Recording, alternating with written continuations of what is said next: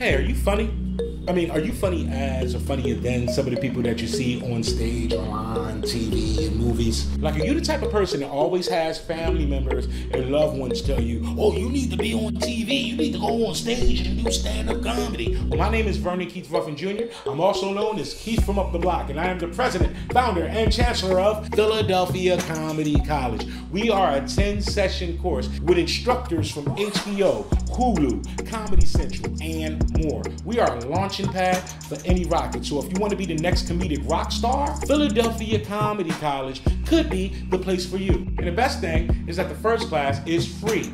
Our open house is coming up. Come out with your energy and your willingness to participate to see what we're all about because we are living in unprecedented times. So unprecedented times call for unprecedented funny. PhiladelphiaComedyCollege.com. Your future in funny starts here.